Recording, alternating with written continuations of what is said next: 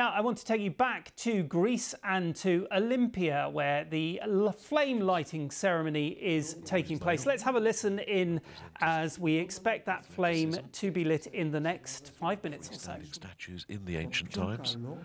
We will be seeing these kouroi later on. And waiting for us at the temple. We have the priestesses featuring the, the high priestess as well. And the artistic director of the flame lighting ceremony and the choreographer Artemis Ignatiou, who will, uh, in a few moments' time, formally, there she is, when she will strike the drum, that will formally begin the torch lighting ceremony. The distinguished guests led, of course, by the uh, President και τα αγάλματα που θα σμιλεύονταν προς τιμήν τους και τοποθετούνταν στην Ιερή Άλτη εκεί όπου μόνον οι θεοί This is always a very magical moment, the official Olympic flame lighting ceremony. In ancient Olympia, of course, the uh, flame was lit throughout the duration of the games, and that is the continuity that we're seeing in the modern era as well. Once this flame is lit, it will not be extinguished until the closing ceremony. So that the scene live in Olympia where the sacred flame for the Paris 2024 Olympics is to be lit in, of course, the ancient birthplace of the Games. There will then be the torch relay, which will spread from the Acropolis to the South Pacific. As you can see, hundreds of dignitaries and spectators are there in southwest Greece, where the modern day Olympics were born, and where the ceremony is held every two years for both the summer and the winter Olympics. Now, you can see there. Uh, there is the Greek actress Mary Mina. Now, she is, we think, going to help bring the Olympic flame to life with the help of a parabolic polished mirror before handing it to the first torch bearer. So there is a parabolic mirror that you can see there in the middle of your shot, um, which we think is actually what is going to be used to help light the flame. It will then be passed to the first torch bearer, who is a Olympic rowing champion, um, and then it will be handed on as it goes on the torch relay. Now, the ceremony here in Olympia being conducted in the ruins of the 2,600 year old temple of Hera.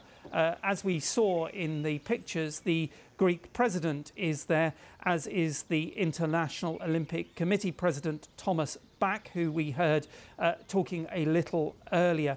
The torch itself harks back to the ancient Olympics when a sacred flame burned throughout the Games. The tradition was revived in 1936 for the Berlin Games. Now, uh, there will be an 11 day relay of the torch on Greek soil.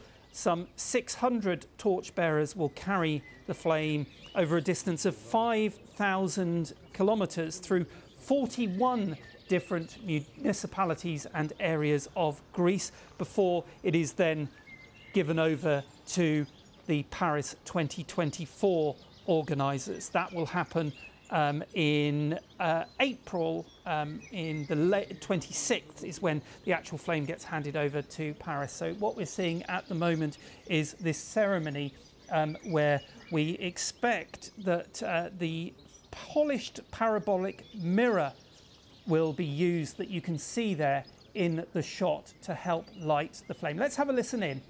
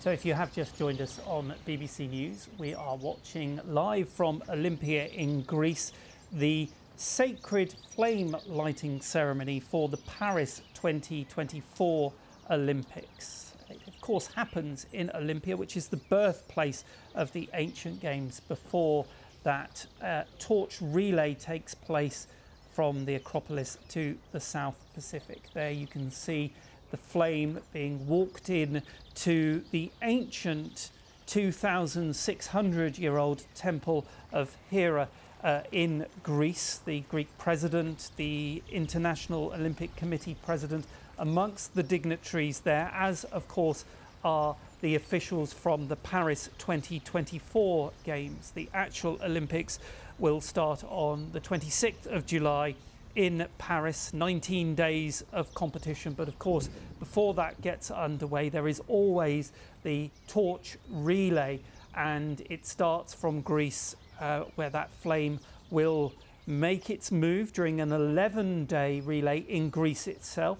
Around 600 torchbearers will carry that flame over 5,000 kilometres through 41 municipalities before it is then handed over to the Paris 2024 organisers. That will have a special ceremony as well at the site of the first modern Olympics of 1896. Uh, that will happen on April the 26th. Then, of course, the across France, there's going to be 10,000 torch bearers that will carry the fame across 64 different French territories. Uh, there'll be 400 towns, dozens of attractions during its 12,000 kilometre journey, both through mainland France and also uh, the overseas French territories in the Caribbean, Indian Ocean, and Pacific. So there we see the flame being put down, um, ready for the ceremony for the torch to be lit in ancient Olympia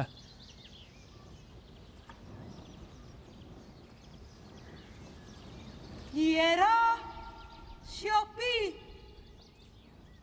να ηχήσει όλος ο εθέρας. Η γη, η θάλασσα και οι πνοές των ανέμων, όροι και τέμποι. Συγείστε, ήχοι και φωνές πουλιών, πάυσατε για τη μέλη να μας συντροφεύσει ο Φίβος, ο Φωσφόρος βασιλεύς.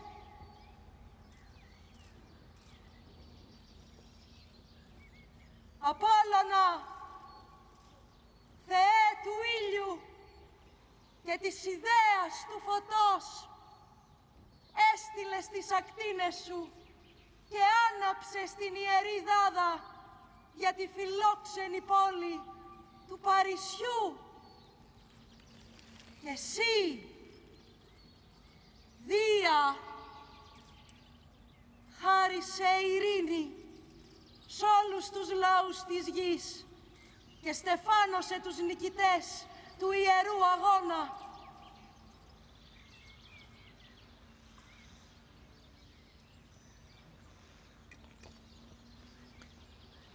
So that is Greek actress Mary Mina, who is the high priestess who is now holding that Olympic torch as she moves down to light from the flame the first torch of the relay.